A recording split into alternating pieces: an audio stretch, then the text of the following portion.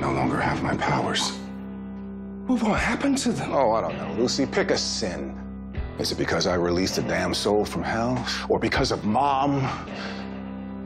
Or am I simply no longer worthy?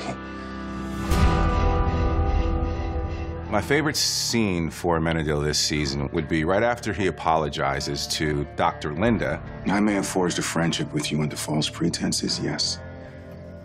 But I did consider you a friend. And I'm deeply sorry that I ruined that. He comes into his office and closes the door.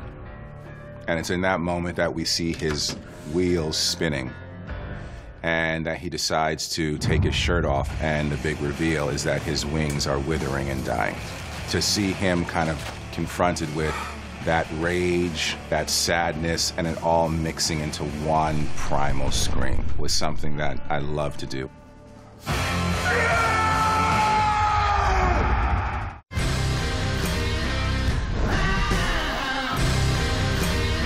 Hello.